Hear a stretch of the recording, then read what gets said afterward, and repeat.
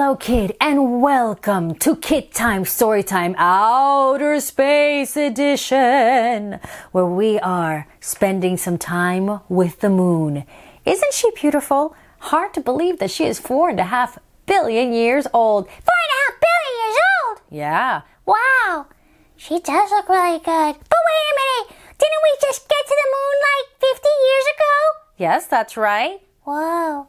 Must have been pretty lonely up there. Yeah, I know. That's why when we landed, it was one giant leap for friendship. Wow, yeah, I totally get that. You know what? I'm really already feeling this book because I'm considering a career as an astronaut. So please read. Okay, I will. That career choice of yours sounds, well, out of this world. Was that a joke? yes. so let's see. Moon's first friends, a tribute to that landing on the moon. Ooh, scan this code to hear the countdown to Apollo 11's liftoff. We're going to do that at the end. We're going to do it. Check it out. Oh, and I really like what they say to us here. This is SLH, Susanna Leonard Hill. She wrote the book, and she's dedicating this book for everyone. That's us. Everyone who dreams of great things. Reach for the moon. And from EP, Elisa, she did the pictures. To all those who have a mission in their heart and who fight to complete it no matter what. And you know, big missions don't come any bigger than wanting to reach the moon. Am I right? That's right. Let's take off. The moon was queen of the night sky. Look at that beautiful night sky.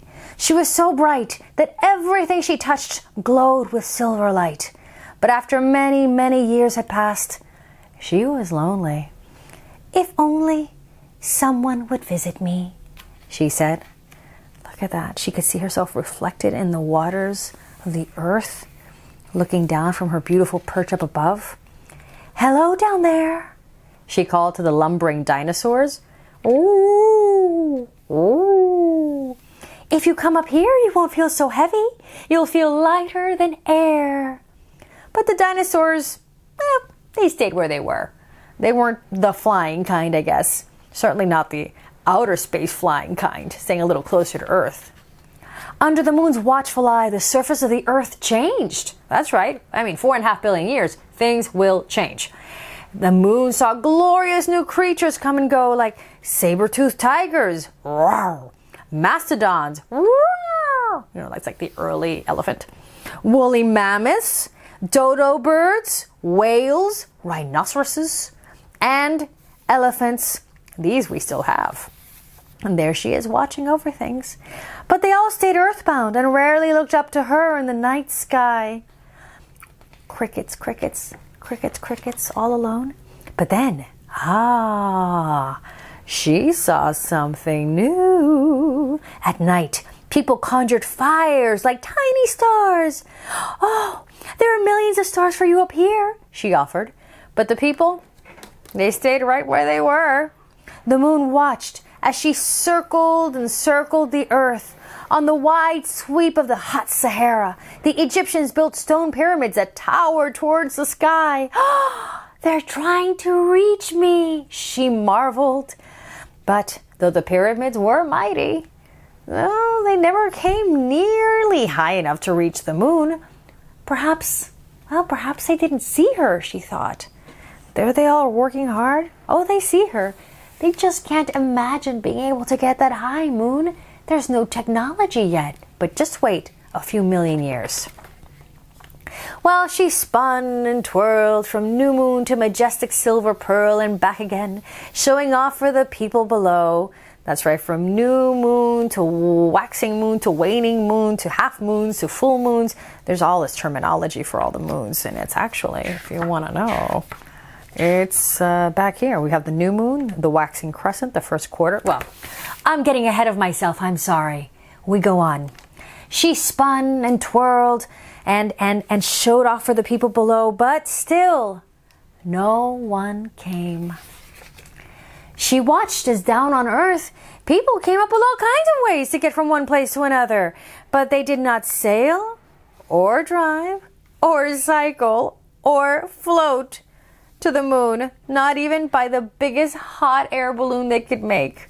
Then, on a windy day in North Carolina, ooh, hope springs new. The first airplane flew above a beach. You're doing great, encouraged the moon. You just need to fly a little bit higher. But the people on Earth only traveled to, well, basically visit one another. Was it possible that they didn't know she was there? She's been so patient and glowing and moving around. How can no one notice? At high noon, the moon slipped purposefully between the earth and the sun, blocking all the daylight. Then she slid aside again, allowing the sun to shine through. Ha! No one could have missed that, she thought. No, not a lunar eclipse. She definitely got their attention. But still, no one ventured away from Earth. Oh, would she ever have a visitor? Good thinking though with the eclipse. They definitely noticed you. Just when the moon was losing hope, the people on Earth began, began to experiment with what? Rockets? Rockets! And the moon watched with great interest. But the humans, well, we still had a lot to learn. There he is designing things. But one day, the moon's hope soared. A chimpanzee. Ah, ah, ah, in a Mercury capsule rocketed towards her. a visitor at last. Look at that. There's a monkey in there. I wonder if his name is Curious George. You'd have to be curious to be a monkey in space. But alas, oh, the monkey returned to Earth without reaching her. But oh, so close. And then, one hot July day, a tremendous rocket stood upon a launch pad with two small spaceships perched on top. The countdown began.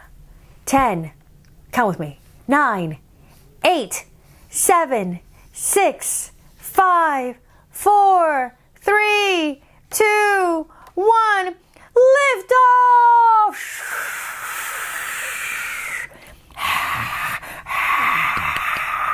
Crowd goes wild at 30 stories high and weighing 6 million pounds. Woo! That's heavy. The rocket rose into the air amid an explosion of flames, slowly at first, and then faster and faster. The rocket fell away in stages, letting weight go. But the two spaceships hurtled to the moon. They kept coming. They're coming, the moon said. They're actually coming. I'm so excited for the moon. Look at her. She's been lonely for so long.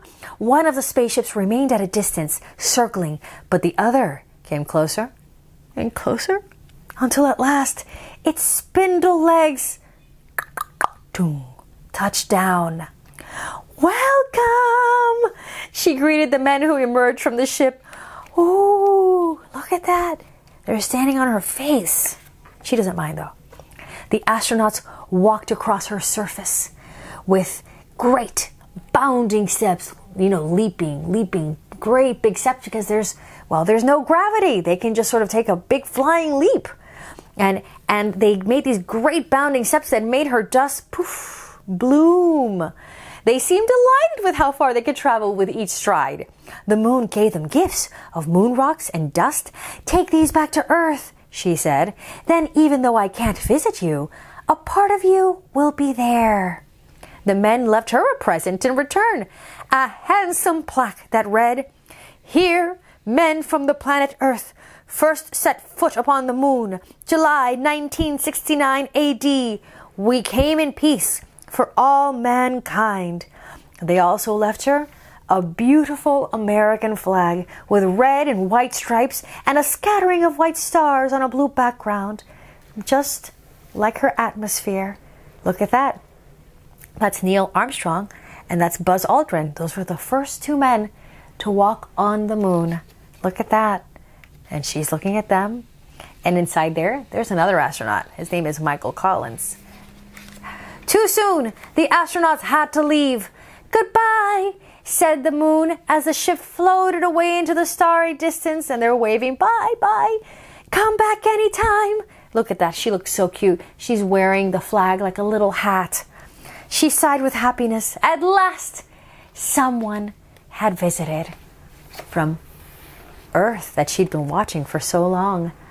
And now she had hoped that it would happen again and again. Maybe one day you will visit her. This is, you see, this is a vehicle that actually landed, this module landed on the moon. And here, amazing factoids, perfect for a budding astronaut. Okay, I'm listening. Okay, NASA, which sent this beautiful rocket ship Apollo 11 up to the moon, was established in 1958. It's part of the government and it's in charge of science and technology related to airplanes and space. What does that mean? Well, that means that they make satellites and they send probes into space and they study the solar system, they explore the planets and asteroids. And oh, so many things. Do they look for aliens? Well, they don't officially say so, but Probably. well, I'm guessing. Yeah, it would be kind of cool. I want to be an astronaut and find aliens. Okay, well, I mean, I'm sure that that's a mission uh, in the future. Uh, let's see. Some out of the world facts. Shall we have some of those? It takes about a month for the moon to get all the way around the Earth. Now, the moon does not give off any light. Even though we see her glowing, that moon glow is actually the light of the sun reflecting off of her white, beautiful surface. Earth's moon is the fifth largest one in our solar system. I guess the fifth largest moon. Other moons are out there for other planets. Now, the moon, in relation to the Earth, you're wondering, are they the same size? No, it's about one fourth of the Earth's size, 25% of the size. Oh, and then here, just chock full of great stuff about the Apollo 11 voyage. And there they are. Those are the astronauts Buzz Aldrin, uh, Neil Armstrong, and Michael Collins. He's the one that we hear about the least because he was the one who stayed inside the rocket taking care of stuff while these guys were bouncing around and putting the plaque in and putting the flag. And there's Buzz Aldrin with, with one of the most famous photographs ever. And well, so far they're the only two so far who've been on the moon. But, you know, maybe somebody will be wearing a spacesuit. Somebody pink? Maybe. Maybe one of you out there will go with somebody pink. Yeah, you could be my co-astronaut. Exactly. Go up in a rocket and go up into the sky. And it gives, oh, I love this book. You can um, freeze it and then read all the details. The first stage of, you know, how you remember how things were coming off? It explains everything that was coming off, talks about the lunar module, the one that actually landed on the surface of the moon, talks about the trip home. Let's see. After traveling back through space for more than four days, they finally re-entered Earth's atmosphere and splashed down safely into the ocean. Just, it's just a simple four-day trip to the moon. Ha ha ha. No big deal. Now, do you want to hear? I do. All right. Let's see if this works. I bet it'll work. It says here, scan this QR code to listen to Neil Armstrong's first words on the moon. So I'm going to scan it on my phone. Right there. See me scanning? Okay. It's telling me to open this thing.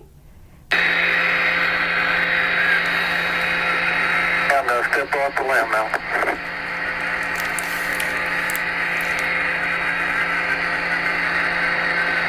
There's the first words. Landing. That's one small step for man, one giant leap for mankind. One small step for man, one giant leap for mankind. Wow, that was so cool that we got to actually hear the words. It's like magic in this book. I know. It's incredible what they think of with technology. And a lot of technology, you know where it comes from. From outer space? Well, yes, from the space program, because they have to come up with so much technology to be able to do amazing things like Visit the moon? Exactly. That they come up with all kinds of inventions that then serve us down here, like being able to even have cell phones and computers. That all came from the space program. Wow, I can't wait to do something cool like that and discover cool things and meet aliens and stuff. Yeah, I want to be Moon's uh, new friend, Uh huh. and then maybe I can go to Mars, meet some aliens, have a nice house in the in some other planet. That'd be cool. Yeah, I have big dreams. Big dreams. I think we should all have big dreams. And remember what they told us in the book. Do you remember? I want to remind you before we go. For everyone who dreams of great things, reach for the moon and fight to complete the mission in your heart, no matter what. Because if man can make it to the moon, you can make it to your own big, beautiful set of goals. See you next time, kid, on another intergalactic Kid Time Story Time.